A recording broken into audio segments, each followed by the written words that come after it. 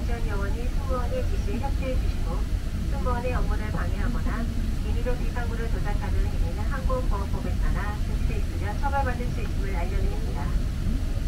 저희 승무원들은 여러분께서 편안하게 여행 가실 수 있도록 정성을 다하겠습니다. 감사합니다. Ladies and gentlemen, welcome on board. Electronic devices may be used during the flight as long as they are set to airplane mode. Disturb, disturbing crew members and tampering with emergency exits are strictly prohibited and punishable by aviation safety law. So please cooperate with cabin crew who assist safety officers throughout the flight. During the flight, our cabin crew will be happy to assist you in any way. Thank you.